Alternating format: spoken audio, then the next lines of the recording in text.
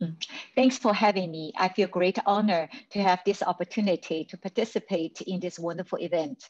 Uh, I feel very blessed for the opportunity that I met with Dean uh, in the School of Public Health in Harvard.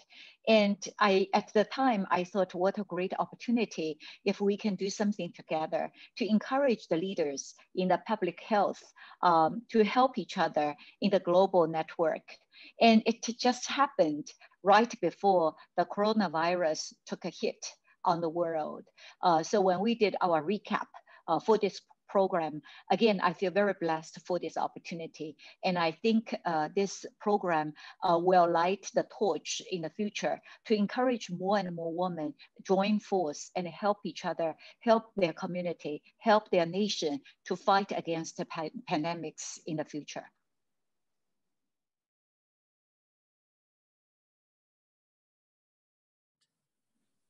I feel mentorship and network are very critical for the career development and healthiness of female leaders and female uh, friends in the global places. Uh, there are a couple of things I have noticed. Uh, in the workplace, uh, normally uh, females enjoy the environment that we can communicate and we are very good with team buildings, very good with uh, putting ourselves in other people's shoes very good with uh, being very willing to make personal sacrifice for the best interest of the team.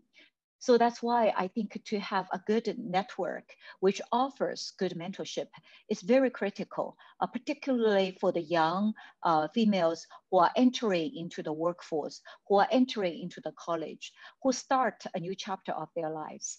Uh, if we can help each other by sharing our experience and encourage each other uh, during the time when we have pressure, I think our life will be filled with more inspiration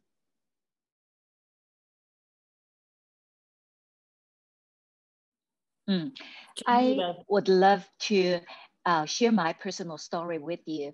Uh, when I came to the USA, I worked in a restaurant making three dollars per hour to make myself uh, make my ends meet. But my professor's family were very kind to me. They took me in and treated me as their own daughter. So I told uh, my professor's family that someday when I'm able to, I want to take good care of them.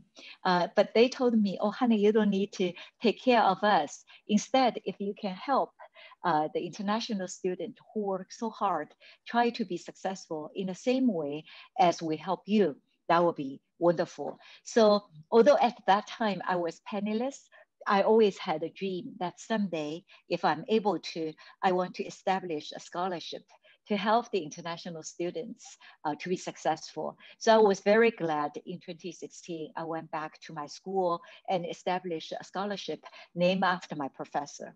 And the LEADER program, again, is very much under their influence uh, with the mind to help more international females to help each other.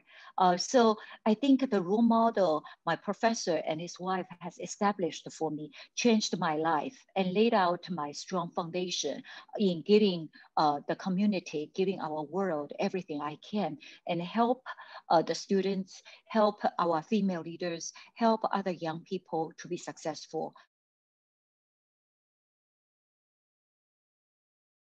Time, if we can uh, encourage ourselves and push ourselves out of the comfort zone, uh, we will be able to take on more responsibility. Uh, so at year end, a lot of male employees will come to my office, ask for raises, ask for promotion. But for my female employees, very few of them do that. I think we deserve to be recognized. Uh, we deserve, we need to work hard, but on the other hand, we also need to dare to push ourselves to take on more responsibility and take on uh, more uh, share of, of the responsibility within a bigger organization and always step up and step out from our comfort zone.